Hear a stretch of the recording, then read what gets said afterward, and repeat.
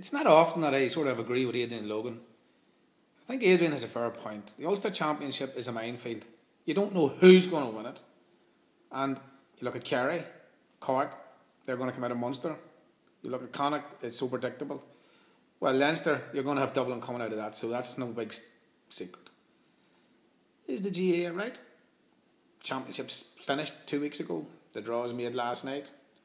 Donegal, well, they played Tyrone in the preliminary round, and then they play Armagh, and then the winners of that play Derry or Down, and then they go into the Ulster final.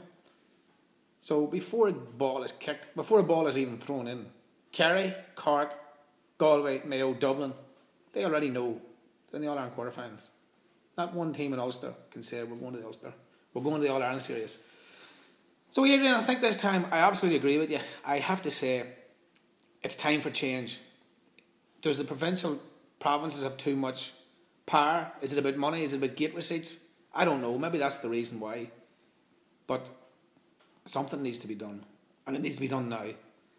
And I have I agree with you, Adrian. I think you're hundred percent right. The time for debate is now. So let's get out there and debate it. And I suppose when we're on that, we can also debate the All Stars.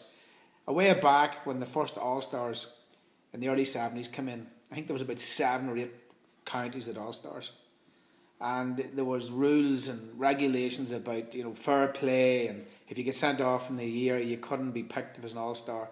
And that has all changed.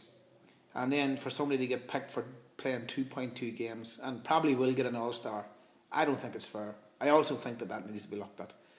But that's another story for another day. Adrian Logan, it's time for debate, and you're absolutely right. I agree with you, and I'm rolling behind you.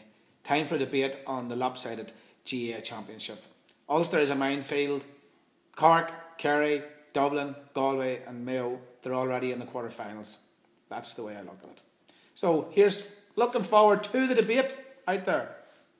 Let's get talking everybody, unless somebody come up with something. Not sure about the Champions League format. I don't know, but let's come up with something.